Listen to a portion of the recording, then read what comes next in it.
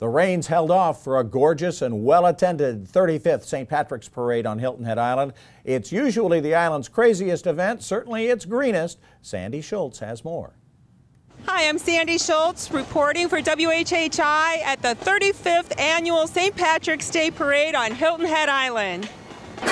Ladies and gentlemen, who's ready for the 35th Hilton Head Island St. Patrick's Day Parade?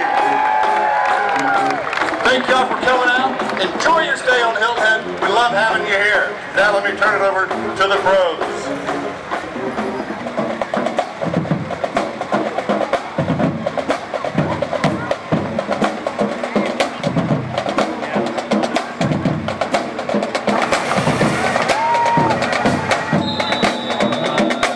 Uh, St. Patrick's Day has always been a, a day where I looked from afar, and now I'm in the midst of it. So I'm, I'm very, I'm very honored and excited. As far as the uh, evolution, it has just gotten so much bigger and so much more well organized. I think all of the volunteers that are engaged in trying to pull this off, from the sheriff's deputies to all the folks that are wearing the T-shirts and everything today, driving around in the golf carts, they're doing a much, much better job than they used to.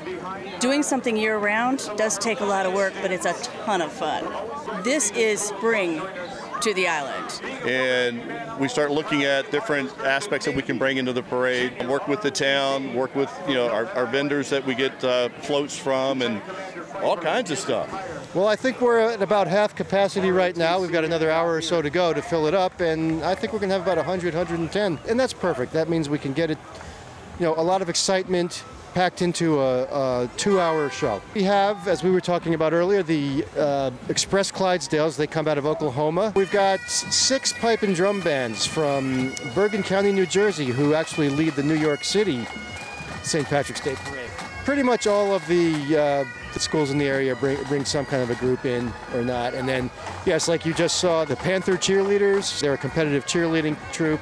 We have something new this year. It's called the Stardust Pixies. They come out of Savannah and they do um, circus performances. And you can already hear the noise in the background. So, yes, there's going to be a lot of noise out here today. It's going to be a lot of fun. And it's just gotten bigger and better and more participants. I think it's awesome what it does for the community. It brings everybody together. Once again, anytime we can do something like that, people that you don't normally see or hang out with, you have a chance to uh, be friendly with and talk to and just share a beautiful day.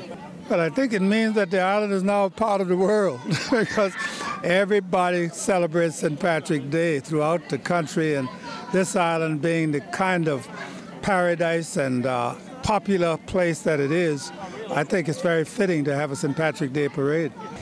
Again, I'm Sandy Shults reporting for WHHI on Hilton Head Island at the St. Patrick's Day Parade.